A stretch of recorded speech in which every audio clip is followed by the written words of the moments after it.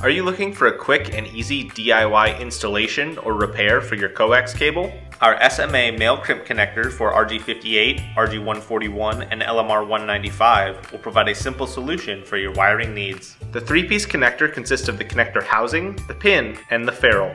For this installation you will need a coax stripper, coax cable, a soldering iron, a crimp tool, and the SMA connector. Keep in mind that you will want to make sure that your coax stripper, crimp tool, and connector match the cable that you are installing. Start by inserting the ferrule over the outer jacket of the cable. Then, using your cable stripper, strip back the outer jacket and dielectric. The advantage of using a cable stripper is that it will strip back the jacket and dielectric at the same time.